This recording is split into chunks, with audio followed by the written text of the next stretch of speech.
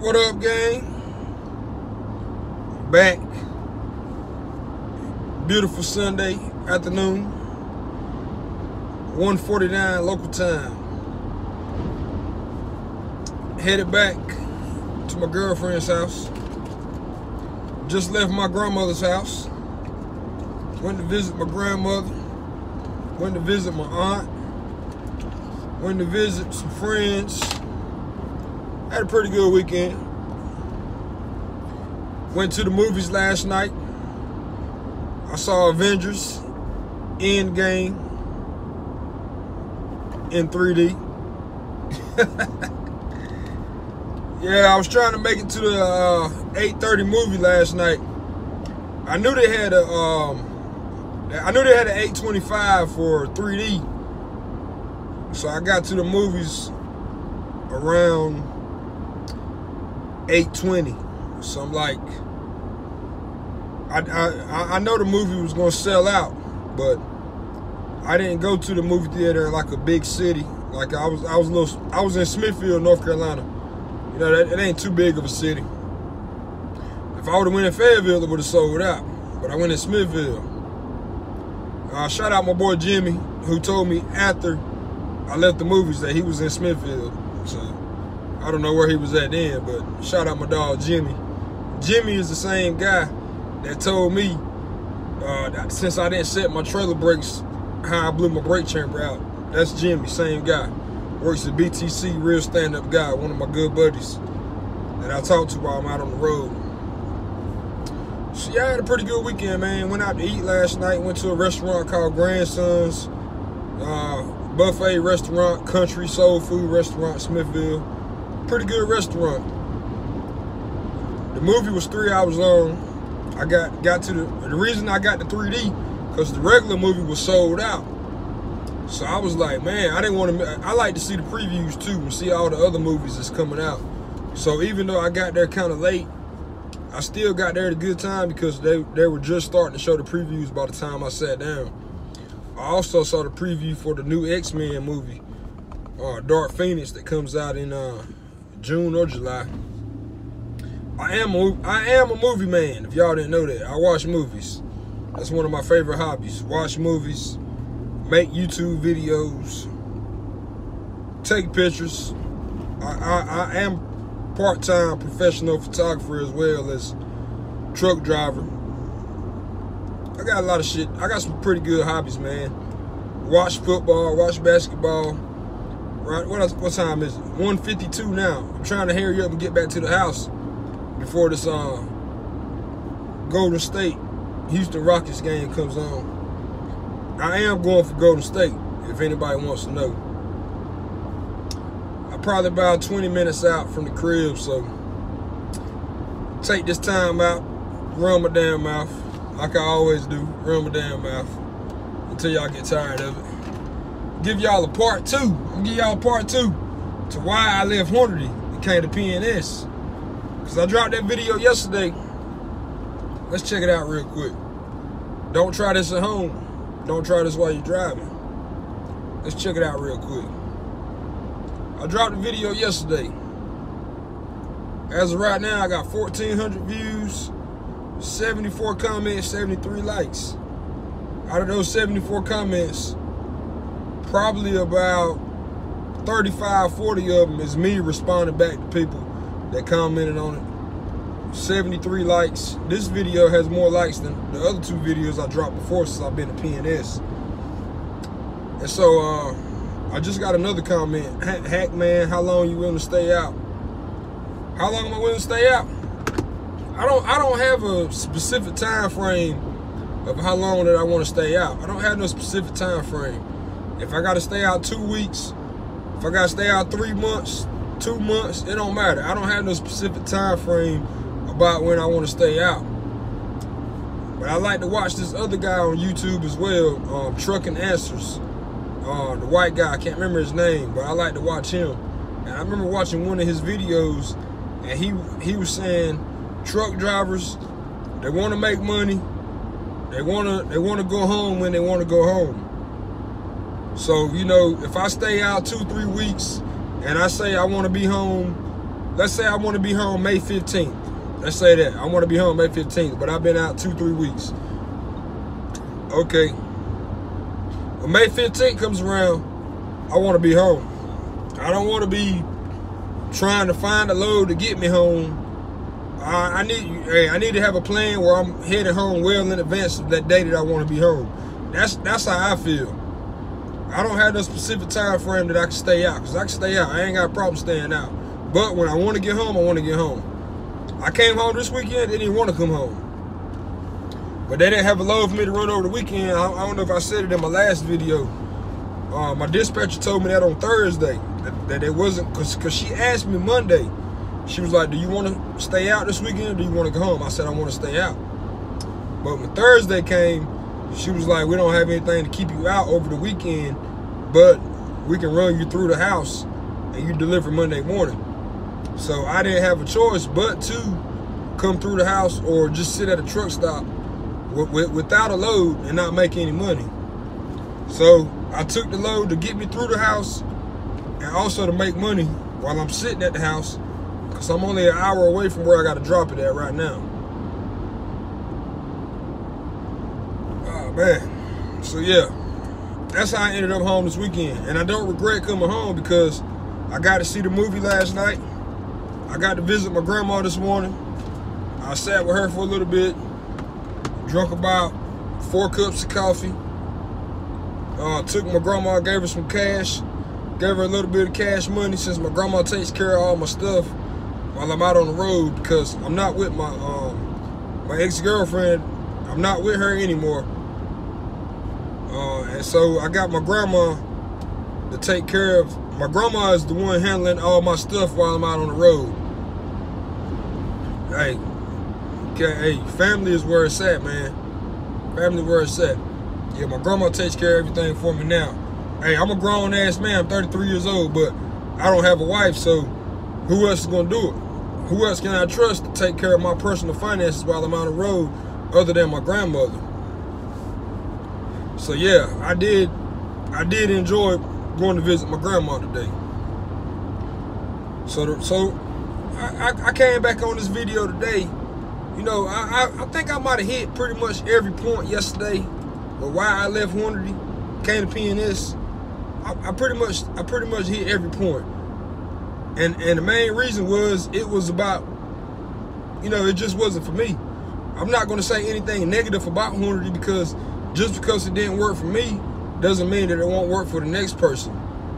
So if and the guy that commented and said, oh, they, they send me two loads at a time. Yeah, they send me two loads at a time too. They send me a load, and before I even drop it off, they send me another load. Yeah, they would see that. But I, I worked at Melton before I came to Hornady. So I, I know when you on mileage pay, Melton will give you some miles, man. They will that Melton will run your ass to death. They give you 1,500, 2,000 miles like it ain't nothing. So 600 mile run, 800 mile run, 300 mile run, when you on mileage pay, that's that's nothing. That ain't nothing right there, man. That's how you make your money on that mileage. You run a percentage, it's, it's a little bit different. As long as you in a good freight lane, you can go, you can run 1,500 miles and bring home more than the person that ran 3,500 miles on mileage. You, you, you could bring home the same thing they bring home on percentage. So when this opportunity came up for me to go to P&S, bruh, I would have been a fool to turn it down. I would have been a damn fool to turn it down, man. And I wasn't even thinking about P&S until my buddy called me. And, and he, he got to hook up with some field recruiter named Chris Wooten. If Chris ever sees this video, Chris Wooten, he's a field recruiter for P&S. I, I never met the guy, but I know he drives a truck with a wrap on it. If y'all ever see the guy on the road.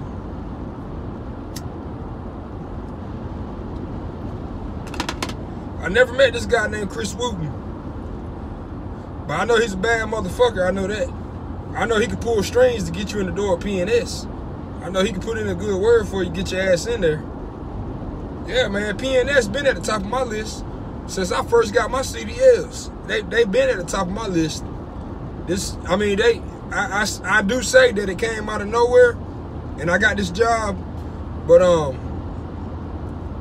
I, I, I been knew about them, but like I, I didn't have the experience to go straight to P&S, and now that I'm at P&S, hey, this, hey man, dealing with dispatchers at these other companies, Hornady, I had a pretty good dispatcher. I had no problem with the guy, pretty nice guy. But in Melton, those those dispatchers at Melton, they they will try you. They will definitely try you. And if you don't stand up for yourself, they they will run over you. But that's that's anywhere. Every company got bullshit, and I and and I love Melton. I had no problem with Melton. Dispatchers talking shit to drivers, hey, that's just part of the game. It's just how you gonna deal with it. You gonna you gonna say, are you gonna let them talk to you any kind of way? Oh, oh yes ma'am, no ma'am. Oh, I, I I talk, I do say yes ma'am, no ma'am, but I ain't gonna go with no bullshit. Yeah, that's just part of the game, man. It's all in how you want to deal with it. Yeah, I had fun at Melton. Hey, sometimes I used to, sometimes I used to be out driving. I, I might get bored and be like, let me call my dispatcher just to talk shit. Like, I had a female dispatcher named Christina. I, I think about something she said smart like the day before, and I just call her out the blue just to fuck with her. Like, you told me this. What? Hey, I just I just did that shit for fun, man. It is what it is, man. It's a love-hate relationship. They got a job to do. Their job is to dispatch. Your job is to drive. Of course, they're going to push you, that's what they're supposed to do. It's all in how you deal with it. You going to take it personal, or you gonna chalk it up to you know that hey that's it's just business.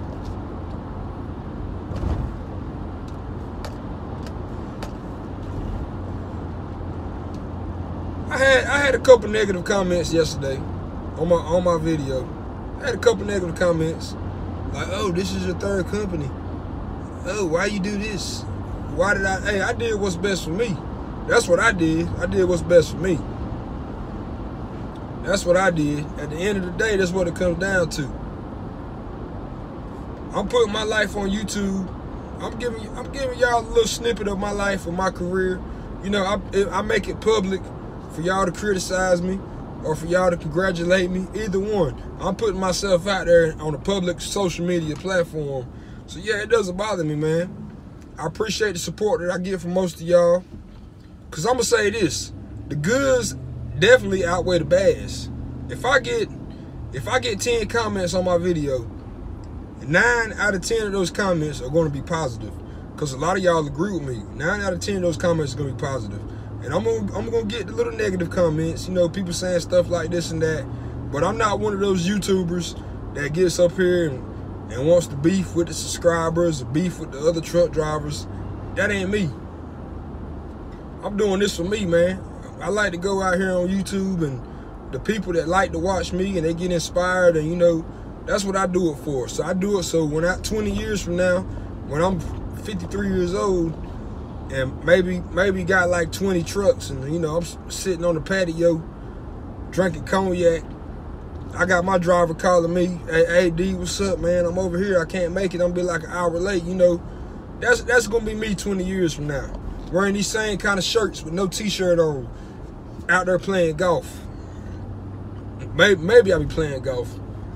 I'm not too much of a golfer. I, I could play Topgolf. I could play Topgolf. yeah, I'm not too much of a golfer. Maybe when I retire, have some free time, I can actually hit the the real golf course. But hey, I love Topgolf. If if y'all never been to Topgolf, I highly suggest y'all check it out. It's a fun place, man. So yeah, do I do I feel good about my decision of coming over to P&S? Damn right I feel good about it. I got to see my grandma today, got to see my family. Without even asking to come home, they ran me straight through the house. I think I might have hit on it a little bit yesterday about that Flex Dispatch. Like they advertised Flex Dispatch. Hey, it, it definitely, every load I got so far, I, I had an option where I want to run. Hey, you can't beat that, man. I don't, I don't know who else does it like that. I know I'm gonna ride this company out. other two companies I was at, I, I didn't even have time to use my insurance benefits. That's how fast I was out of it. But those two companies I was at, I got what I needed from them. I got my experience from Melton. I got my experience from Hornady. I learned a little bit of stuff. I learned what to do, what not to do. And that's all that matters. That's that's life. Sometimes you gotta play the cards you dealt. Something that's that's what a lot of people do. They get their hand, they play the cards that they're dealt. Sometimes it's what you gotta do. I know a lot of I know a lot of times when you, when you get your cards, you get your first let's say let's say you get your first hand. Fucked up hand. You like, man, I don't want to play this hand. I, I want to throw it in. But so you either got two choices. You can you can play the hand, or you can throw it in, or you can keep the hand. You take take a gamble, see what comes out on the flop, or you throw it in, and that's what I did. You you gotta your goods gotta outweigh your bads. Play the cards you dealt, or you throw it back in. That's that's what it is. That other person sitting across the table from you, they, they don't give a damn if you're gonna throw it in. They don't give a damn. All they wanna do, they they, they wanna win too, just like you do. A lot of y'all wanna win. I wanna win. But if you got a fucked up hand, you got a fucked up hand. You ain't got no choice but to fold that hand. And and that's really what it came down to when I was a Hornady. I had a fucked up hand. For what what they were dealing to me, it, it just wasn't it was it wasn't what I needed. It wasn't what I needed. I didn't need to be bringing home seven, eight hundred dollars a week. I didn't need to get a 500 mile run over three days. That ain't what I needed. If, if I'm gonna be on mileage and and I can't deliver nothing till Monday morning, I need to get 1500 miles on Friday. That's what I need. I just pulled up to my truck. Just got back in town. Yeah, you see it over there. Y'all wonder why I pulled up to the truck? Because I got to get some eye drops. My contact solution is in the truck. And my eyes red because I, I, I, my thumbnail was long this morning, but I um I cut it off. I scratched my eye, put my contacts in. So let me go over here and get my uh, eye drops real quick, and I'll be right back.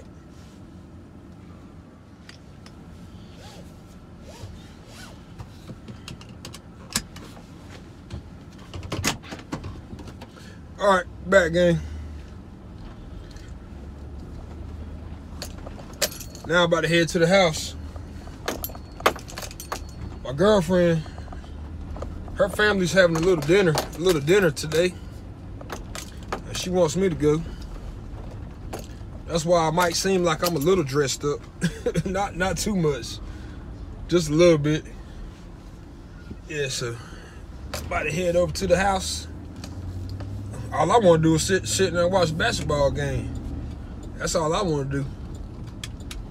But she said she was just gonna show up just a little bit, show our faces, and then we was gonna dip right back out. What time is it? 209. Game come on 3:30. I might I might miss the first quarter, but I, I highly, hey, I need to I need to get my rest for tomorrow so I can get back on the road. That's gonna be my excuse between between me and y'all. So I'm gonna tell her, hey, I can't stay out too late. I'm tired. I gotta, I gotta lay down and, and get some rest. And just so happens while I'm getting my rest, the basketball game is gonna be on.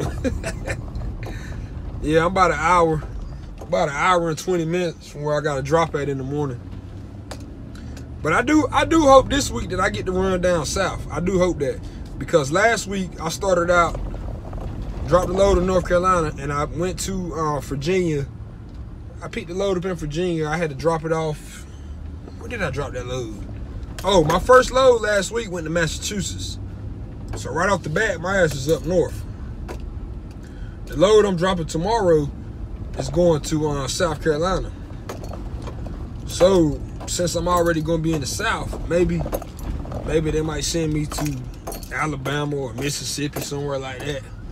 Maybe I get to run down south this week. I fought I fought enough mountains and traffic last week, so maybe maybe I'll run down south and see what's going on down there. Whew. I think I pretty much told y'all why hey, why I left Hornady and came to P&S. That's that's about it. It was about the money. Money makes the world go round. If I got a chance to come over here and make 12, 1300 company driver every week versus making eight, seven, eight hundred a week, I'm gonna take the, I'm gonna take the bigger one. And then like they, they do got the 90 day. After 90 days, you start the process to go lease. That's that's what I want to do. I want to I want to get myself up there, man. That big league, start making that big money. That's what I want. A lot of people always say, "Well, don't don't do the lease." Hey, I I don't I don't I, I don't I don't say I want to do the lease and do that when it, when the times come for me to get to that. You know, that's I just I just need to have the income coming into the bank for a little while, just just to show, just to see little big deposits and shit like that until I'm able to get my business credit up. So maybe I go. I don't want. I really don't say I want to finance because if anything happens and you and and some shit happens, you know, you stuck with that debt. But you know, you go the lease route. Anything happens, you walk away from it, clean and clear. I don't got an issue. I'm not hurting for money, I, really. Really, really not hurting for money. So I'm, I'm good on that. I'm just having fun doing what I do. I'm having fun starting my trucking adventure. I'm having a lot of fun. I don't know if y'all realize it or not, but hey, I like what I'm doing. I love being part of the flatbed game. I love being a truck driver, period. I do have tanker and tanker and uh, hazmat endorsement, and and doubles and triples. I do have all three, but I haven't ran across the right opportunity for those types of jobs just yet. I, I have had job offers but I just haven't I just haven't took them because I want to stay flatbed. I have hauled hazmat loads when I was at Melton with on a flatbed, but uh, as of right now, I know P&S doesn't haul any hazmat. And I've seen double flatbed trailers, like the company that just went out of business. I've been seeing all about it on Facebook. What's the name of that company? That, that stranded all the drivers, and you know they went bankrupt, stranded all the drivers I forgot the name of it. Y'all, y'all might have seen it on Facebook. Matter of fact, I tell you, that same guy that I was talking about, the Trucking Answers guy, he he put a put a video up about it. Let's see, Trucking Answers. Or yeah, buddy, Trucking Answers.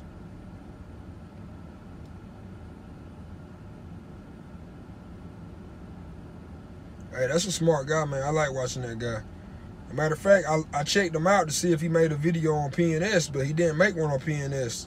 So maybe y'all can hit up Trucking Answers. What's his name? John? Oh, Falcon Transport. Seizes all operations, stranding drivers. Yeah, I've seen them on the highway. I've seen them pulling double flatbeds.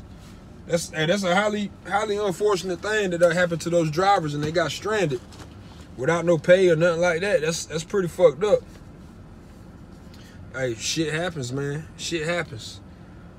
Complacency kills. That's what I'm gonna name this video. Complacency kills. If you get complacent doing anything in life just because you feel like at that point in time that's what you need to do, and you don't have no other choice but to but to stay where you at because you feel like, oh, I don't need to do this. I don't need. You, you're never going to get ahead in life. Complacency kills. You in the military. You go to Iraq. You go outside every morning. You smoke a cigarette. You don't put your helmet on. You don't put on your body armor. You say, "Oh, I do this every day. I go outside and smoke my cigarette at the same spot. I don't need my body armor." So one day you go out. You don't put on your body armor. Bam! You get shot in the chest. That's being complacent. These companies don't owe you no loyalty. They don't owe you no loyalty. You see how that company went out of business just like that? and left those drivers stranded, they don't owe you no loyalty. But y'all gonna tell me, oh, oh, you need to grind it out here. You need to do man, fuck that. Take control of your life. Take control of your life. If shit ain't working for you, you gotta do what you gotta do. If this shit ain't working, if you know you ain't making enough money doing this, get the fuck out of there. What's the point of wasting your time? You don't owe anybody no loyalty. Just like that, that company shut down without warning, sent their drivers an email or text message or whatever. Just like that. You're done. You're stuck. Wherever you at. I seen something about, you know, some drivers didn't even have fuel to even drive the trucks home. These companies don't owe you no loyalty. You, you got to be loyal to yourself. You got to do what's right for you. That's what it comes down to. What you want to do. You want to, if you know you in a fucked up situation, y'all, if any y'all watching this video right now, if you working at a company and just because somebody told you to grind that company out for one year and then find something better, and you got six months to go and you know it ain't working for you, hey, start working on your exit plan. Start working on it right now. Don't don't do it just because somebody told you that's that's what has to be done. No, don't hey, don't do that, man. Hey, rules are meant to be broken. Rules are meant to be broken. Who who wrote these rules? Who wrote these rules? That's somebody told you that 60 years old. Oh, you need to stay with your first company for one year and then find something. Who told you that? Man, my phone rings every day. I get calls from companies almost every day. Somebody calling me about a job. I, I don't even answer the phone. I, I just I let it go to voicemail. I listen to it. I listen to who it is. J.R. Sugar. They've been calling me like hell. I don't even know how they got my number. They've been calling me like hell. J.B. Hunt. This guy's been sending me text messages. Even even telling me, oh, if, if you don't want to work for J.B. Hunt, if you know anybody else that, that needs a job, you know, pass on my information to them. You know, hey, every day I get uh, Schneider. I get emails from Schneider all the time. I had, been, I had looked up Schneider a while back about flatbed. They never had anything available. Like two weeks ago, I checked my email. They had a flatbed offer that was up there. But I'm but I'm good. I'm riding I'm riding it out right here at P&S. I'm riding it out, saving my money, getting it up there until I can move on to the next step. So yeah, complacency kills. I, I didn't have a name for this video, but now I know I'm going to name this video Complacency Kills. That's why I fucking did what I did and came over here. I had to do what's best for me. I advise y'all to do the same for yourself. Do what's best for you. Don't let nobody tell you what you're doing is wrong. If you feel like it's right, then you do what's right. 10-4. Your boy's out. Flatbed game.